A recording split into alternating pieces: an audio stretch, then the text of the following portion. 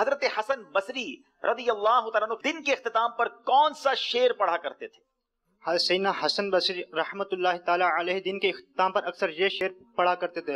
मोहम्मद दुनिया भी लिहयिन वाला हयुन अला दुनिया भी बिबाकियतिन ना तो कोई दुनिया के लिए बाकी रहा है ना दुनिया किसी के लिए बाकी रही है। हाय हर दिन खत्म होने के बाद ये पढ़ा करते थे कि ना तो दुनिया किसी के लिए बाकी रही और ना ही कोई दुनिया में बाकी रहेगा।